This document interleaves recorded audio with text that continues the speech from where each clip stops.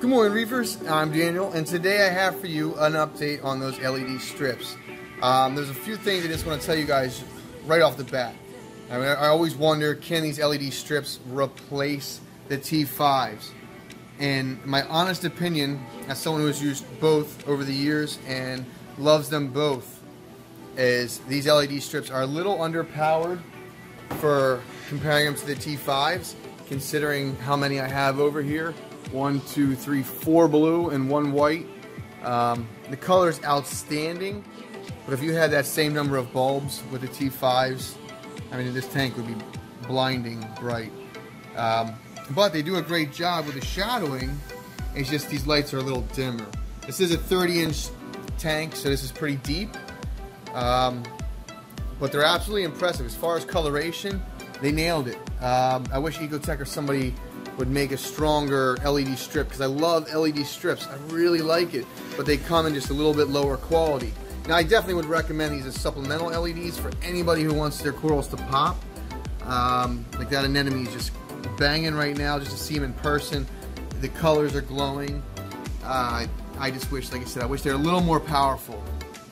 Like, I mean, those AIs, the Radions are pretty impressive.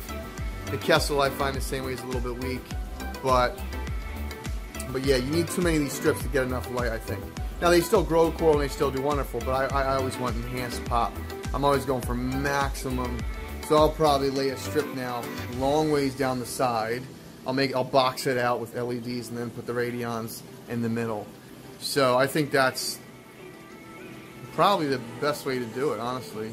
Instead of doing all the strips and going down um, just to get like four 24 inches and box it out and then have your good lights in the middle. So you get a beautiful accent blue that makes the colors pop.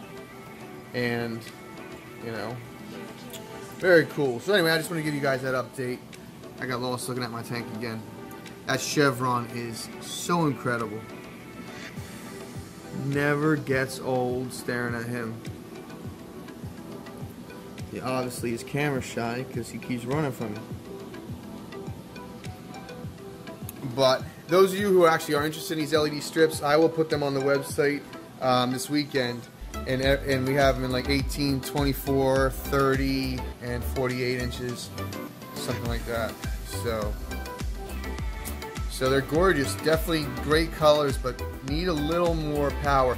They do awesome, like said, enhancement, and you can actually turn on. Each one has its own moonlight at nighttime, which looks incredible.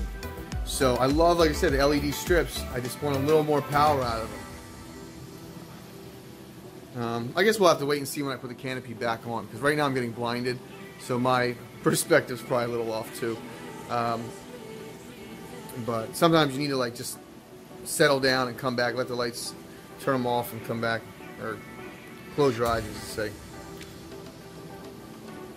But all right, I'm making everybody wait. Um, let me see. What else do I have?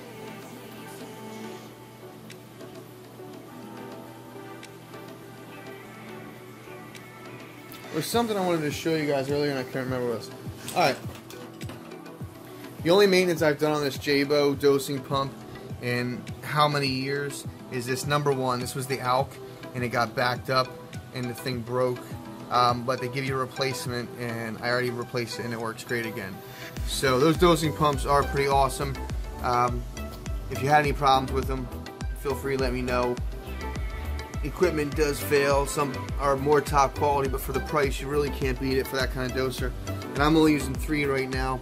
And that extra one, if it ever breaks, I honestly got an extra one. So